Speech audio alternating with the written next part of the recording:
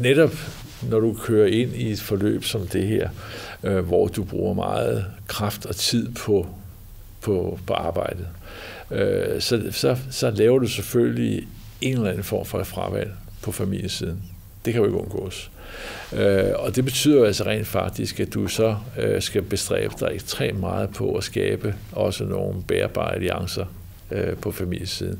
Og i mit tilfælde vil jeg sige, hvis ikke de alliancer hele tiden havde været til stede, øh, så kunne det her projekt overhovedet ikke lykkes. Det kunne det ikke. Det kunne det ikke. Hvis ikke den opbakning og den, den, øh, den fælles forståelse for, hvad det er, vi gerne vil, øh, hvis ikke den var til stede, så, så kan det ikke lade sig gøre. Hvordan sørgede du for, at der var en fælles forståelse? Jamen det, var jo, det gør man jo simpelthen ved, at øh, altså, hver gang jeg har, jeg har skulle træffe et valg om, hvad, hvad skal vi nu gøre det, og skal vi gøre det, så er det noget, der er blevet klaret meget kraftigt af derhjemme på hjemmefronten. Øh, så så der, der, har ikke været, der har ikke været nogen spørgsmålstegn, når vi er færdige. Okay, det gør vi. Og det selvfølgelig har det også noget at gøre med, at øh, jeg selvfølgelig fra ikke mindst min kones side har haft en utrolig tolerance. Øh, og øh, hun har selvfølgelig også godt kunne mærke på mig nogle gange, at det der, det kunne jeg godt brænde lidt for. Øh, og, øh, og det kunne måske også godt give en ekstra udfordring til hende. Men det er vi så blevet enige om, at det, det gør vi så. Og så ser vi, hvor langt, hvor langt bukserne holder. Hvad er det for en kunst, du kan der? Jeg tror sgu mere, det er et spørgsmål om, at, øh, at øh, min kone har en kunst i sig, der gør, at hun tydeligt kan mærke, øh, hvad der vil være bedst for mig, og dermed også bedst for familien. Det tror jeg. Så jeg, jeg tror, at meget af æren for det, der er sket, den skal ligge der. Det skal den. Og som sagt, hvis ikke den, hvis ikke, hvis ikke den, den, den, den del af det havde været på plads, øh, så, øh, så havde jeg stadigvæk været en glad øh, gadebetjent på Vesterbro.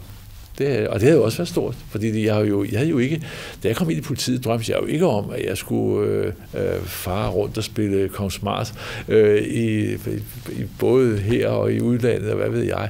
Overhovedet ikke. Det var ikke, og det var, det var ikke det, der drev værket, fordi øh, politikærningen i sig selv er fantastisk livgivende. Det er den. Men altså de andre, det er sådan ekstra krydderi, der kom på. Så den der øh, lavkage, den har fået mange bunde efterhånden. Så, øh, men, det, men det er klart, det, det bygger på den fælles forståelse. Og hvad kommer på toppen nu så?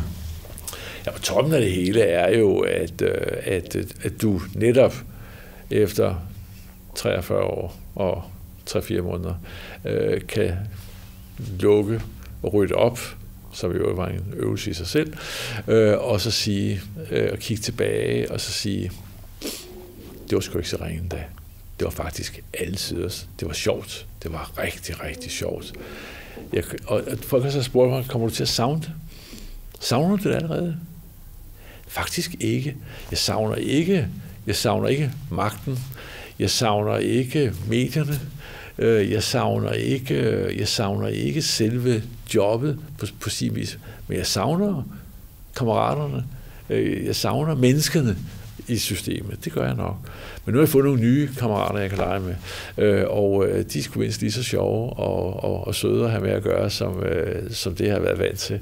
Så det giver sådan en ny dimension, og så måske oven i købet også hjælper det lidt til at imødegå de værste abstinenser.